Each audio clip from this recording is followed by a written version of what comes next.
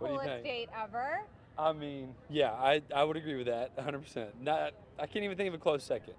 Tell me, was this the best date of your life? It was just yes. I mean, just to just to be that humbled and think that this many people would do, like get that together for for me, for me and JoJo for our enjoyment is like, and I like love music. I mean, I, I yeah, that was the best day ever, and not even knowing it was gonna happen, and then just seeing this happiness, just happiness out here in the street, and us just joining in. I, I mean, I'm on I'm on cloud ten. We're skipping nine.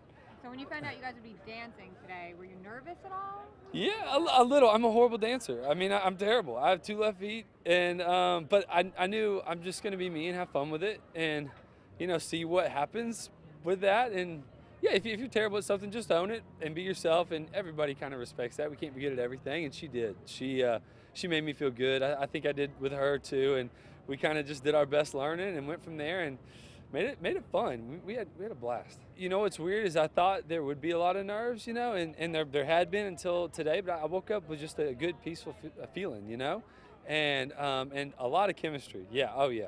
I mean, you saw that kiss. I know. You, that, Was that your first kiss? no, we have kissed once before. Okay.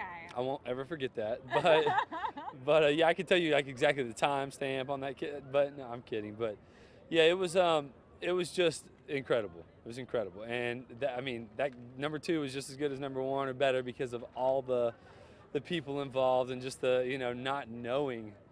Um, a whole town feels like it just stopped for us. That's Yeah. that's what it feels like, and this date was like going back in time, and and and time just stopped absolutely for a moment for us, and it was it was it was amazing.